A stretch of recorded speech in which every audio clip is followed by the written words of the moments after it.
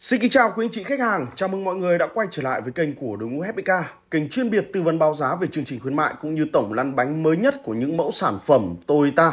Và trên màn hình quý anh chị đang nhìn đây là mẫu sản phẩm Toyota Innova Cross, một trong những mẫu sản phẩm gia đình thuộc phân khúc MPV hạng C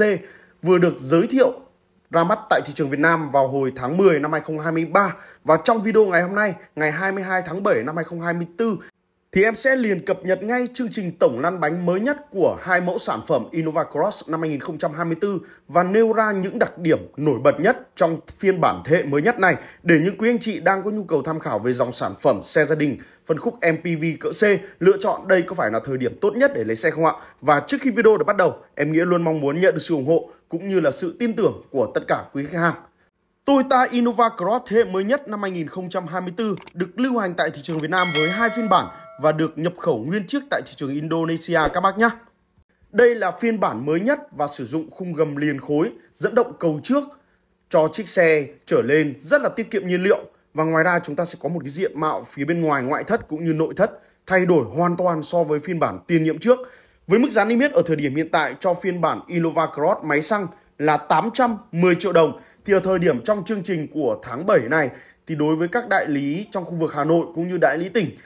cũng đang có nhiều hàng giao cho quý anh chị trong tháng 7 hoặc là tháng 8 và tháng 9 tùy từng màu sắc. Và quý anh chị cần hỗ trợ một cách tốt nhất đối với từng màu sắc của mẫu xe thì các bác có thể liên hệ trực tiếp tới hotline để góc trái màn hình. Và hiện tại thì tùy từng đại lý sẽ có chương trình khuyến mại tặng phụ kiện và một vài đại lý khan hàng thì sẽ bán nguyên giá. Cho nên mức giá lăn bánh tại thị trường Hà Nội đối với mẫu sản phẩm Innova Cross máy xăng sẽ là 930 triệu đồng lăn bánh tại thị trường Hồ Chí Minh sẽ là 914 triệu đồng và lăn bánh tại thị trường tỉnh sẽ là 894 triệu đồng. Trong 6 tháng đầu năm năm 2024 thì Toyota Innova Cross chính thức được bán ra với hơn 2.000 chiếc. Đặc biệt, đối với phiên bản động cơ hybrid thì sẽ lấn áp so với phiên bản động cơ máy xăng. Chúng ta sẽ có rất nhiều những trang thiết bị tiện nghi cũng như một cái diện mạo rất là mới ở trên phiên bản động cơ hybrid và đặc biệt là động cơ hybrid thì rất thân thiện với môi trường. Mức tiêu hao nhiên liệu chỉ đâu đó khoảng 4 lít trên 100 km thôi. Với mức giá niêm yết ở thời điểm hiện tại đó chính là 990 triệu đồng. Thì ở thời điểm trong chương trình tháng 7 thì nhiều đại lý có hàng thì cũng sẽ tặng phụ kiện cho quý anh chị như dán phim hay là trải sàn và một vài đại lý thì khan hàng, đặt chờ hàng lên tháng 8 tháng 9 thì chúng ta sẽ bán nguyên giá và với mức giá niêm yết là 990 triệu đồng, thì lăn bánh tại thị trường Hà Nội đối với phiên bản động cơ hybrid sẽ là 1 tỷ 131 triệu đồng và lăn bánh tại thị trường Hồ Chí Minh sẽ là 1 tỷ 111 triệu và lăn bánh tại thị trường tỉnh sẽ là 1 tỷ 081 triệu đồng. Và đối với phiên bản Toyota Innova Cross máy xăng thì chúng ta sẽ có số chỗ ngồi là 8 chỗ và phiên bản động cơ hybrid sẽ là 7 chỗ sở hữu kích thước tổng thể lên tới 4m7, kèm theo đó là trục chiều dài cơ sở lên tới 2m8, giúp cho chiếc xe rộng rãi hơn bao giờ hết. Đặc biệt là dung tích bình nhiên liệu lên tới 52 lít, giúp cho quý anh chị đi những chuyến cung đường hành trình dài thuận tiện hơn rất là nhiều.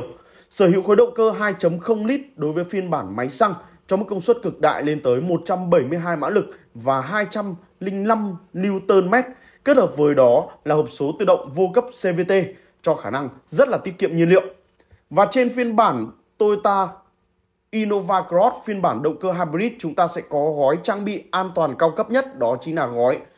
an toàn Toyota Safety Sense bao gồm cảnh báo tiền va chạm trước PCS, cảnh báo lệch làn đường LDA, hỗ trợ giữ làn LTA, điều khiển hành trình chủ động DRCC hay là đèn xa tự động thích ứng AHB, một trong những tính năng cao cấp được trang bị trên xe. Và trên phiên bản Innova Cross máy xăng thì chúng ta sẽ không được trang bị. Đặc biệt đối với thế hệ mới nhất năm 2024, Innova Cross chúng ta sẽ có phanh tay điện tử và hệ thống sữ phanh tự động Auto Hold.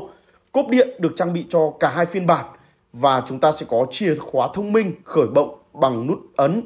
Kèm theo đó chính là hệ thống điều hòa tự động. Một chiếc màn hình giải trí lên tới 10,1 inch kết nối Android Auto và Apple CarPlay và rất nhiều những tính năng khác. Quý anh chị có nhu cầu thì hãy liên hệ em nha. Cảm ơn cả nhà.